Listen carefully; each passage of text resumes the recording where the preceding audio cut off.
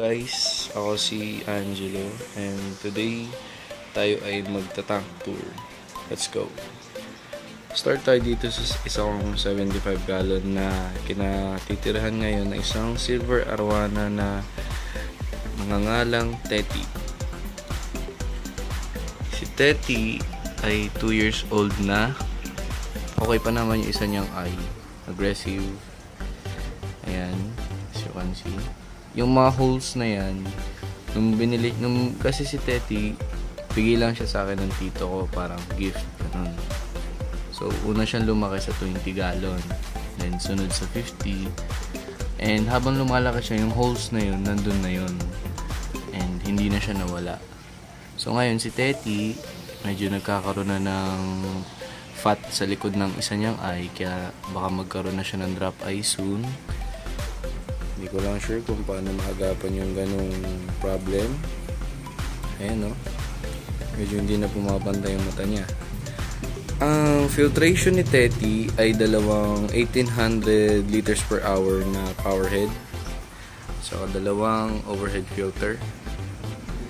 Lights, LED, 3 feet. Ayan, yung isa nakaset na may aeration. Dagdag hangin lang muna kay Teti medyo cloudy water niya ngayon kasi kakatapos niya ng kumain. And ang diet niya pala is puro feeders. Laking feeder siya.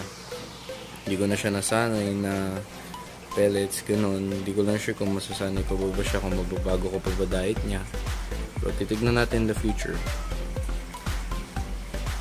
And itong setup na to hindi to recommended para sa silver arwana. Kasi ang silver arwana, maabot sila ng 3 feet. Si Teti ngayon siguro nasa 15, 16 inches, gano'n. Hindi pa naman siya magto 2 feet. And siguro for now, pero sa mga susunod na years, mahirapan na tayong maalagaan si Teti kasi hindi siya makakagalaw na maayos kapag ano, laki niya. Cloudy, yes, yun, cloudy ulit yung water kasi kakakain lang. Ang sunod naman, ito naman, isa kong 75 gallon na merong parrotfish, Indo Tiger, Indo Tiger at Walago Catfish. Tsaka yung mga shrimp na yan, parang feeders para dun sa Walago. So, ang setup niya, 12 inches na LED light. Tapos, ayun, parrotfish. Indo. Indo na mukhang 3x3. Shrimp. Isa pang Indo na medyo stress kasi nagiging territorial yung isang Indo. And ito naman yung Walago. Yung kwento ng Walago na yan is binili ko siya intentionally for reselling. Yan, tas yun, libre na to kasama niya para doon.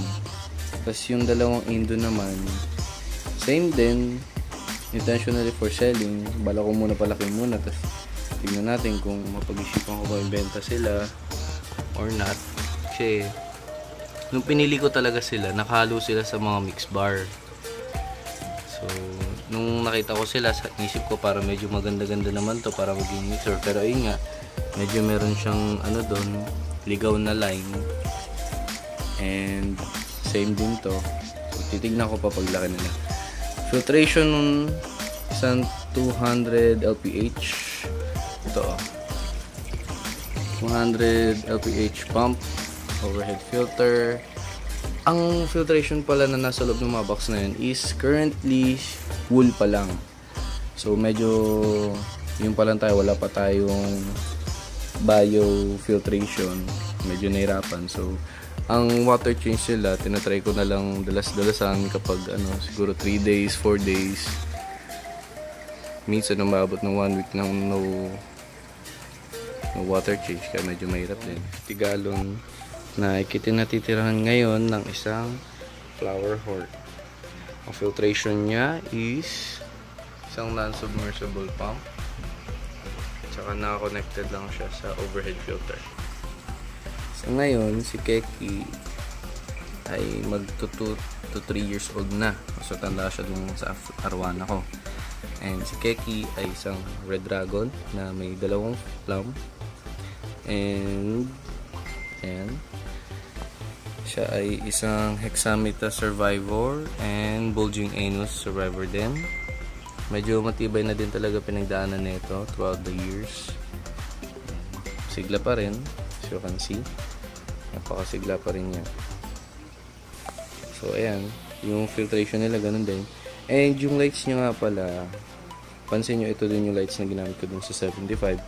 Kasi for now, wala pa akong lights para sa lahat ng tank ko. Kaya ganyan muna sila pag hindi sila nakakagamit ng lights. Kinoconnect ko lang yung lights nila ay nililipat kapag tapos na yung time nila. Kunyari 3 hours, 3 hours, ganun. Ayan. Medyo madumi. So, kakalinis lang yan. No. Kasi itong grow out system ko. Itong grow out system ko, itong apat na to, para siya sa flower horn. Ito naman para sa gapi na mayroong 3 months old na black lace fry. Hindi ko alam kung bakit parang ang bagal nila lumaki. Ayan, may apple snail. Meron ding pond snail dito. Ayan sila sa taas. Ayan. o. Ang diet nila, okay ko pellets. And ayan, meron na akong isang malaking jungle val na forest doon. And itong floating plants na nakalimutan ko yung pangalan. So, ayan sila. Hindi pa rin tapos, di ko na lang kung ano nang nangyari sa mga to. 3 months na pero ang bagal pa rin ano. Parang konti pa rin ang development ng ano nila, fins. Pero ayun. And again, ito ulit yung light na gagamitin natin. Ang buong system na to is run by a single air pump. Uh, ano ng ATEC. And ito ang grow out fries ko ng flower horn. Ang strain nila is Tug, Tug strain. Mag one week na sila sa akin. Yes. Ayan. So, ito kasi yung recommended na system ng breeder ko. Sa kanya kumukuha ng supplies tapos ginugrow out ko na sila. Pero, so far, ang ganda naman yung development nila. Ayan. Ito, may kilay na to eh. Konti eh. Kilay na sila. Ayan, medyo nagkukulang na din. Ito namang isa din. And and then, as you can see, ayan o. Pulang-pula na yung fins niya. And may kilay na din. And there. So, ito, recommended kasi yung green water. And, ayan. So, most of the time nandito talaga yung light para tumubo yung green water and makatulong sa pag-green natin sila ng Opico Platinum.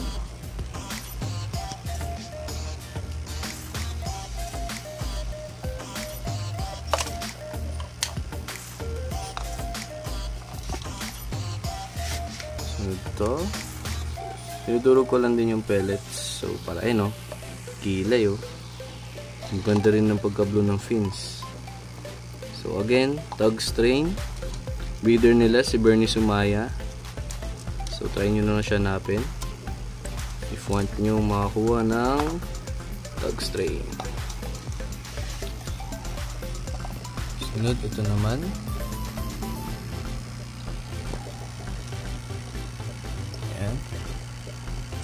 So, kitang-kita nyo yung lumot sa tank niya. Kilay din, isang line. So far, ito yung eaters naman, yung isa. Itong isa medyo mabagal yung ano yun, pagpapakita ng colors. Pero, hindi natin siya ng time. Ayun yung may comeback.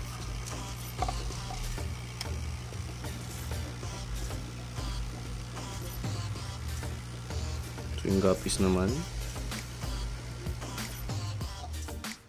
Ito guys, feeding video ng araw ko. So, ginawa ko tong channel na to para ma-share ko yung mga na-experience ko in the fish keeping hobby and malay nyo may matutunan din kayong bago tapos malay ko may matutunan din akong bago sa inyo so sana nagustuhan nyo yung video and like, share try nyo mag-subscribe, malay nyo. Okay lang naman ko hindi. So, yun lang guys. Happy fish keeping. Fi- Peace out.